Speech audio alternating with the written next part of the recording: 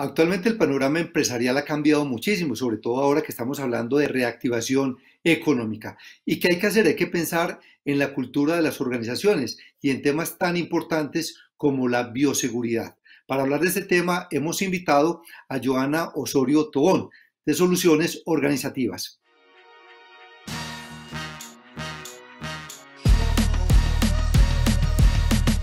Joana, con la bienvenida, empecemos hablando sobre qué es la estructura organizacional? Para entender la estructura organizacional tenemos que empezar por la pregunta, ¿qué queremos lograr? Normalmente la comercialización de un producto o es la prestación de un servicio. Entonces la estructura es cómo vamos a llegar a ese fin, desde las personas y también desde la producción o la forma de prestar el servicio. Tenemos que involucrar a las personas y tener muy claro qué va a hacer cada persona en nuestro proyecto desde su parte productiva, pero también desde su parte misional. A veces creemos que la estructuración solamente es para empresas grandes, pero todo lo contrario. Cada proyecto debería tener una organización desde el inicio, saber cómo va a conseguir ese fin y las personas que va a tener dentro del proyecto, que puede ser una, dos, tres o muchas más, qué función van a tener dentro de la compañía y no solamente desde la parte productiva, sino también misional, ponerle ese ADN al proyecto desde el inicio. Les pongo un ejemplo rápido. Cuando hablamos de estructuración, muchas veces hablamos de los organigramas, que pueden ser verticales o horizontales. Los horizontales es la parte misional, conectar la persona con la misión de la empresa. Sí, Joana. Ahora cuéntanos qué deben tener en cuenta las empresas para la reactivación económica dentro de su propia estructura. Los elementos que debemos tener en cuenta, uno es todo nuestro grupo de trabajo y nosotros como emprendedores debemos tener resiliencia y adaptabilidad, porque la reactivación económica no quiere decir que la pandemia haya acabado, sino que el virus sigue. Entonces debemos tener adaptabilidad a los cambios, resiliencia a todo lo que está sucediendo. Lo segundo que debemos tener en cuenta y es muy importante es la autogestión y la autodisciplina, liderar nuestros cargos.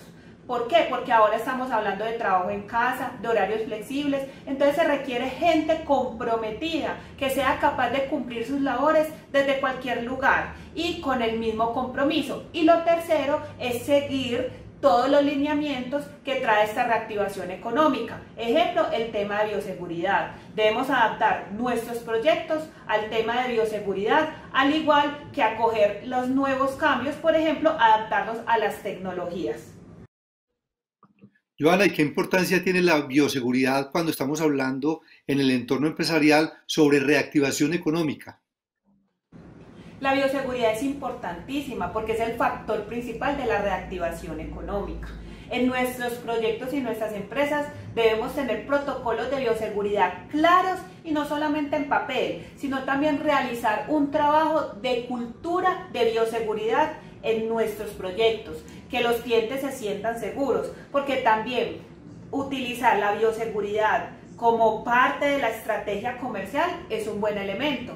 dar esa sensación de que nuestras empresas son seguras, de que cuidamos a nuestra gente, de que cuidamos a nuestros clientes, con el uso y con la adaptación de los protocolos de bioseguridad, como el distanciamiento, el autocuidado, el lavado de manos y todos estos que conocemos. Y también de manera legal es importantísima porque vamos a estar blindados a que nos cierren, a que nos cierren la empresa o a que tengamos propagaciones del virus. Claro que sí, Joana. Cuéntanos cuáles son los elementos más relevantes que tienen que tener en cuenta las empresas y los emprendimientos en este momento de reactivación económica.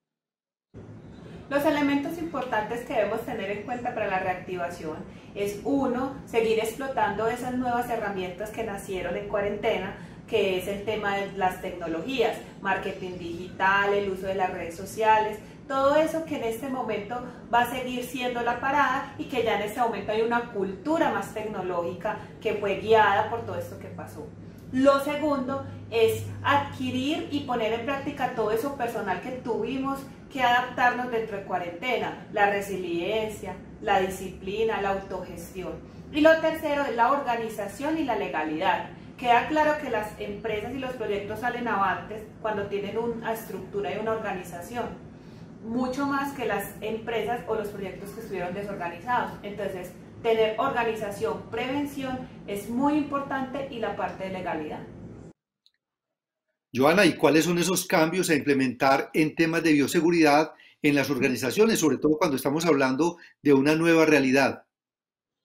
Cambios necesarios, no solamente en bioseguridad, sino en general, es una cultura preventiva.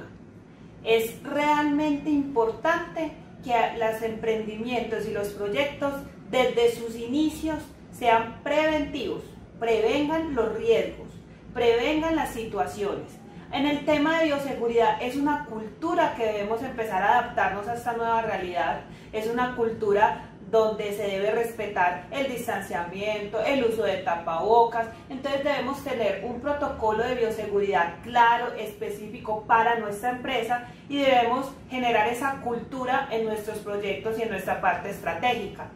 Y también con el tema de bioseguridad hay algo que se debe evitar y es el contacto. Entonces, como veníamos hablando, es muy importante sacarle jugo a las nuevas tecnologías y a tener todas las herramientas que permitan al cliente sentirse seguro desde cualquier parte, sin tener que ir de pronto a nuestros negocios o nuestros proyectos. Joana, supremamente valiosas todas estas eh, ideas que nos das para que nos adaptemos como empresarios y emprendedores a esta nueva realidad y a estar preparados para la reactivación económica.